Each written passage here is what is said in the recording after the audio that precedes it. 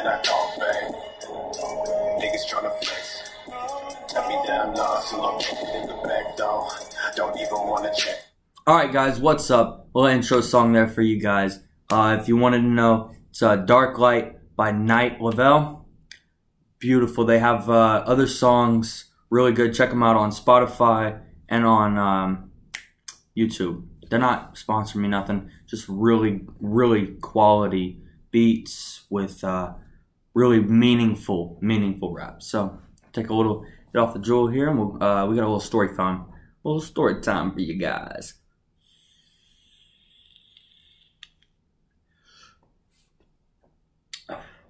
Send it. Went all the way. I think Arizona in here.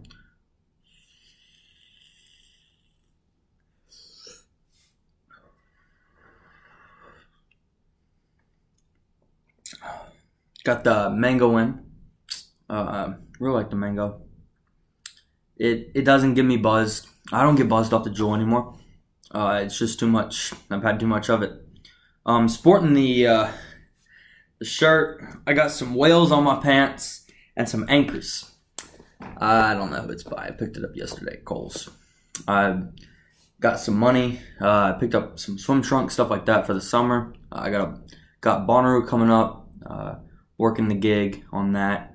If you guys didn't know, I do production. So um, I do production for sports, concerts, stuff like that. Um, concerts, I'm a utility. So set up, take down the stage. For sports, I do replay. I do. Uh, I'll do grip stuff. So run on cable, stuff like that. It, it pays well. Um, I want to be able to uh, get up to doing really, really good um, editing stuff. Um, trying to edit together sports clips for high up. I like putting music to things and uh, kind of like you know the the Vine compilations, you know, where they'll they'll put the music to the Vine and sometimes it sounds really good, other times it doesn't. Well, I want to step it up and make it sound really good, edit stuff together, packages, stuff like that. That's what I want to do. Right now, I do replay. I love doing replay because it takes a little bit of that. I can take a couple different angles and I can put them into a whole entire uh, replay and play them out, and it'll go together. So it'll be like setting up a shot from the key, down, pass, and three pointer. I can have different angles of that showing, ball going up, angle of it going in, whatever, like you see on TV. But that's not what this is about. That's just what I want to do.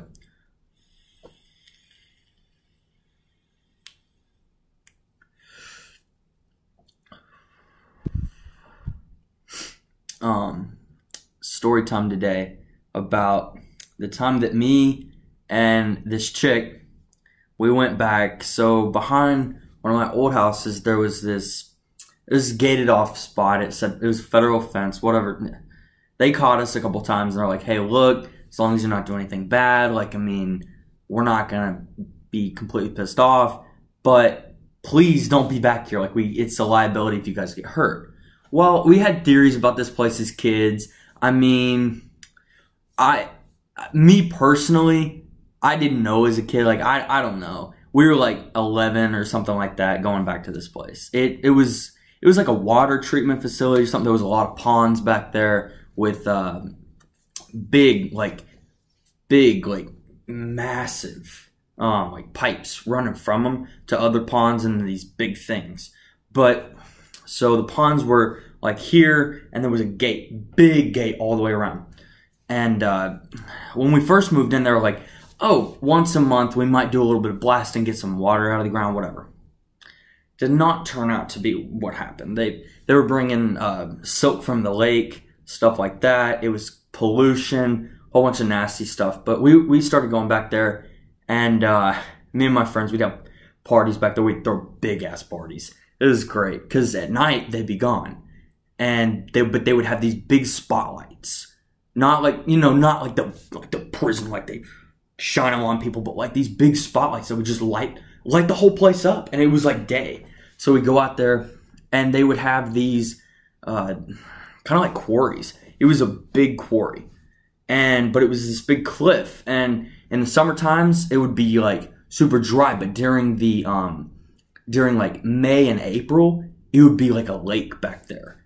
And we never would do any cliff jumping stuff like that because there'd be big machinery all around, and we didn't want to take a risk of like hitting our heads or something like that. And the rocks were sharp. I mean, super sharp, and they had these little crystals in them all over. Not like sellable crystal, nothing like that. Um, but there was this one day, me and this girl went back, and it was about five thirty in the afternoon. We we knew that they left at four thirty, and this was like a couple weeks after they had caught us back there, and they were like, "Look, you guys can't keep coming back here. We have you on video doing stuff." Due to the fact that you're not of legal age to be like 18, stuff like that. Like, I mean, we're not going to send you to like prison. We're going to send your parents to prison for this, but like, stop coming back. Well, we as kids disregarded every rule. Always. It never. It, it, we just felt like rules didn't fucking apply.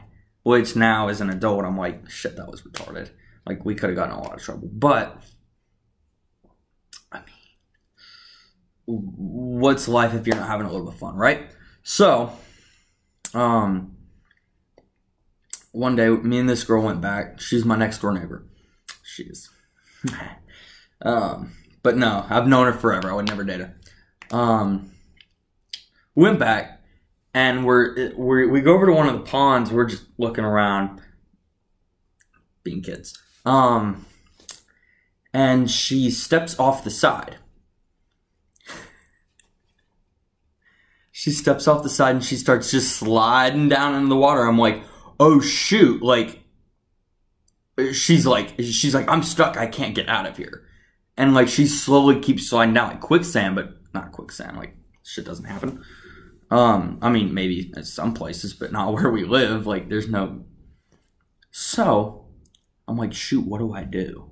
I'm like 11 years old. This girl's like slipping and sinking into the water. And so like I like run out and she's like, where the hell are you going? I'm like, I'm, I'm trying to find something. Hold on.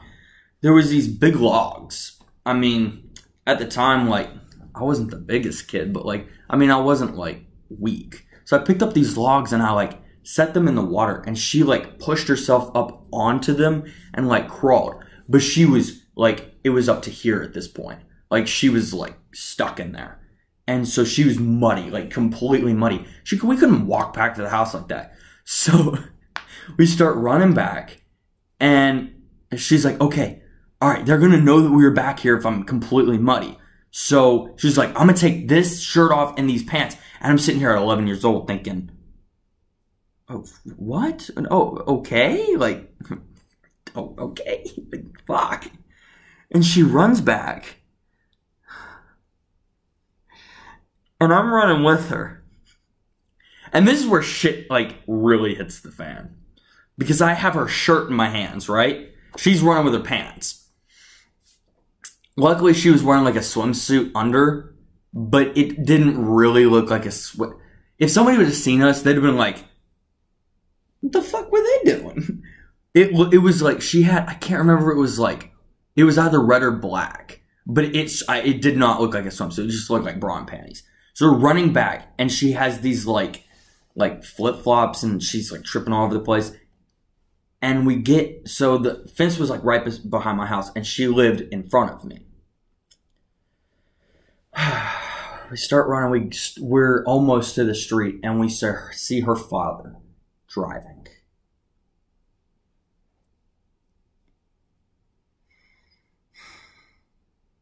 I'm in another JUUL ripped fucking t- explain what's going through my fucking head at this point.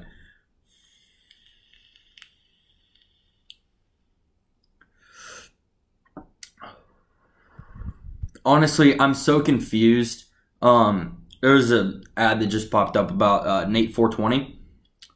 How the fuck is he not banned by Xcode is? Like, come on, man, come on. That upsets me, and that's one thing. Um, are you guys having a snazzy day? Like, I got to keep that going. At this point, I feel obligated because Xcode is like not here anymore. Rip. No, he's not dead. For all you people who just don't pay attention, heard about him before, and you're like, "Fuck, is he dead?" No, no, I would not. I would not be. I'd be crying or I'd, I'd, I'd cry for the rest of my life if he died now. Like, I mean, if he dies an old man, love you, man. But now, oh fuck, I don't know what I would do. So, um, again, she's running across the street and in a swimsuit that looks like bra and panties, and her dad is driving up the road in his big ass truck. I swear to God, this man is huge. Like, there's nothing that I would do. He'd shoot the fuck out of me. Like, he, he'd blow me away. She's running, spraying herself off with the fucking hose. She's muddy as shit. I have her fucking shirt in my hand, and he pulls in and whips out, and he's like, What are you guys doing? I'm like, Oh, fuck me. And as I'm thinking, I'm like, Oh my god, this looks really, really, really bad. Like really, I mean, you. T- I mean, in the comments, tell me what what what would be going through your brain. You're like, oh, I'm I'm fucked. Like he's. He, I mean, yeah, he, he listened in the end. Like, let me get to that. He listened in the end, but at the beginning, he was like, come on, come on. At least put the clothes back on, right? So, um, and so we're getting out. She's spraying herself off. Her dad gets out of the car, bolts out. He's like, what the fuck's going on? And I was like, well, and he was like, I, I honestly, I want to hear it. I want to hear what happened, but I'm afraid. And I was like, oh God. Oh dear. So I'm explaining to him, no, we were back in the woods. She got a little muddy. She was like, I can't, like, can't walk in this. Like, she was, it was like caked on. Like, she had to get her clothes off. It was bad. Like, it was nasty shit. And I explained it to her, to him, and he was like, hmm. I swear to God, this was the face he made. I, I wish I could, I can visualize it in my brain, but he was like, hmm, right. And I was like, I swear to God, ask her. And she was like, like, deer in headlights. I swear to God, we weren't doing anything bad. and we were 11 too, so like, I mean, the, I mean, he thought, but like, you know, like he knew at the end, he was like, yeah, okay. But after that, I mean, we were pretty chill. He was like, there's no way you'd fuck my daughter. well, that was the story. Everything worked out well. He's a great guy. Um, there's another story about him too. I'll do it a later time. I might make it after this video actually. So if you see this, then you'll know that I made it right after. All right, guys. Stay snazzy. Have a wonderful day. Um, just be yourself, man. Do you do you. The the people out there, they might say ratchet ass shit about you. They might say stupid shit about you, but you're you. No one can change who you are. Now, if you're doing something you know you're not supposed to be doing, if you're living a life that you know is like wrong, then you need to change. And you're the only one that can make yourself change. So, guys, I'll leave that with you. Have a great one. Peace.